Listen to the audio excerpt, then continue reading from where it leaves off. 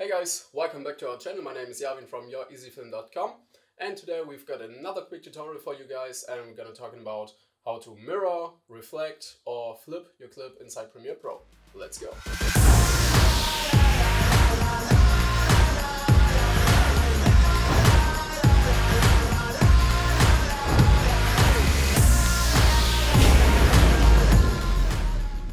Okay, there are two different ways to create this effect inside Premiere Pro. And we're gonna start with number one. I've already dragged and dropped my clip into the timeline. And we're gonna go to the effects. Gonna search for flip. And as you can see here, we've got the vertical flip and the horizontal flip. So the usual mirror is the horizontal flip. Gonna drag and drop it onto our clip.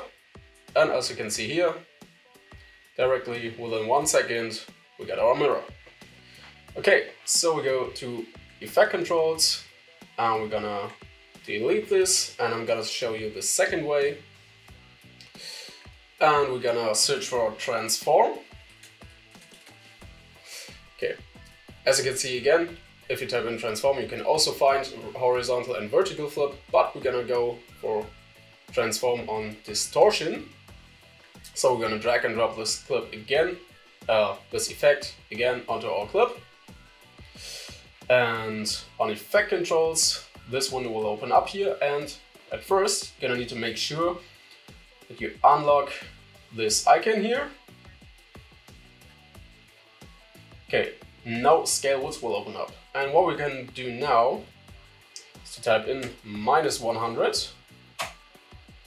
And as you can see, it's flipped again. So that's how we created our mirror. Okay guys, that was a quick tutorial about how to mirror, reflect or flip your video inside Premiere Pro. I hope you enjoyed the video. If you did, please leave me a like and a comment. Don't forget to subscribe and see you in the next video. Peace out.